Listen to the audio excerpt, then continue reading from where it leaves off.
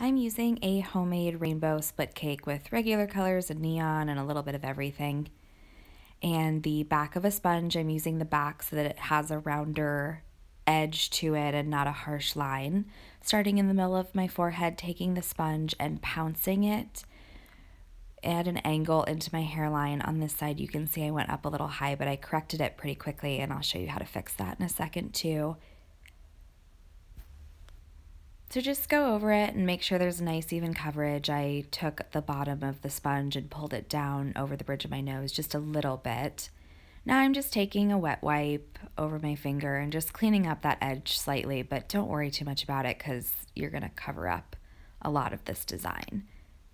So this awesome large Flora brush has been loaded with white and a nice creamy pink on the tip, and I'm going to place a large flower in the center of my forehead and then a petal coming off of the center flower towards my hairline. And then I've loaded a small petal brush with the same colors, white and pink, and I'm just pulling those out over the band. This is a great design for teenagers and adults, and it can be done really quickly as well. So I'm also placing a smaller flower in the center of my large flower just to give it some depth so it's not so flat. And then I'm going to place smaller petals on the inside of those outer petals as well. And my paint got a little sticky, so I had to go over this one a couple times. Now I'm going to add some swirls, and I'm going to take that right up over where the band ends and do the same on the other side.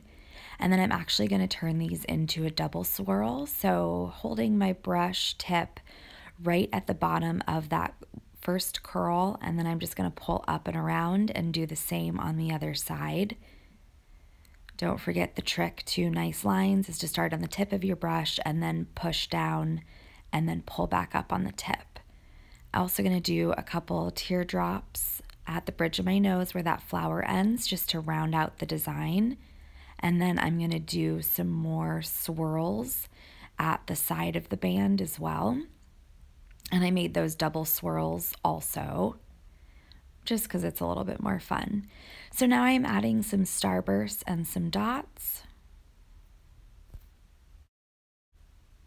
I do really like this design for spring and for festivals. It's quick and bright and fun, and you can switch up the colors a hundred different ways and really make it into your own design very easily.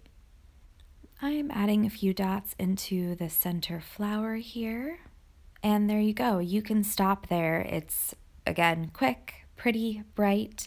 But I'm going to take a liner brush and I loaded this with white and I am very lightly going to add some more swirls and layer those in to make this just a little bit fuller. You could also add some teardrops just to add some detail, but I really like the way this turned out and I hope you guys do too, and I hope you try it.